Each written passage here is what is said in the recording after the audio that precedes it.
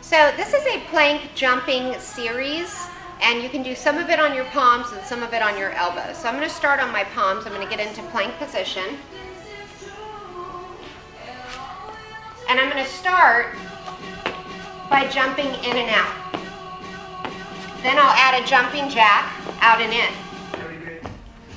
Then I'll keep my feet together, jump side to side, and then I'll add a little more range of motion coming to the outside of each elbow.